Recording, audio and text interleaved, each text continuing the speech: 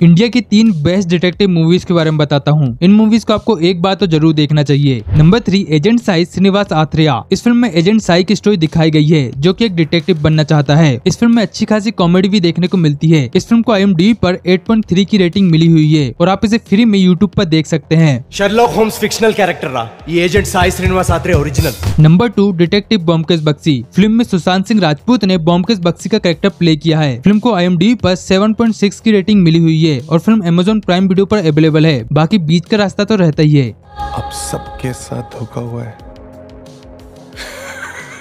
Number one सोनार केला। इस film को लीजेंडरी सत्यजीत रे ने डायरेक्ट किया है। आप में से बहुत ही कम लोग होंगे जिन्होंने इस मूवी को देखा होगा। फ़िल्म की स्टोरी मुकुल नाम के एक लड़के के आसपास घूमती है जिससे अपने पास्ट लाइफ की कुछ चीज़ें दिखाई देने लगती है। इस फ़िल्म को आई पर 8.4 की रेटिंग मिली हुई है और आप इसे जी और अमेजोन प्राइम वीडियो पर देख सकते हैं।